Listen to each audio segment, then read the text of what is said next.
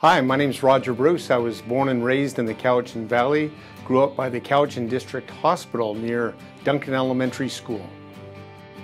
For 76 years, our family owned a little grocery store uh, a block away from our home called Bruce's Grocery. My wife and I like to brag about our three young girls who are growing up now, and I still love coaching their teams today.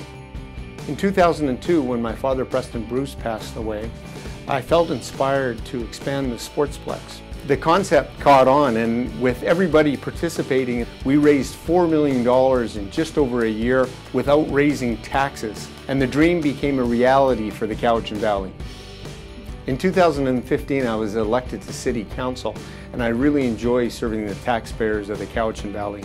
As an investment advisor and insurance specialist with 27 years of experience, I take pride in providing clients with a conservative, balanced approach to growing their investments and creating tax-friendly monthly income. With insurance and estate planning, there are many strategies to help protect families in the short term and opportunities for intergenerational tax-free transfer of wealth down the road.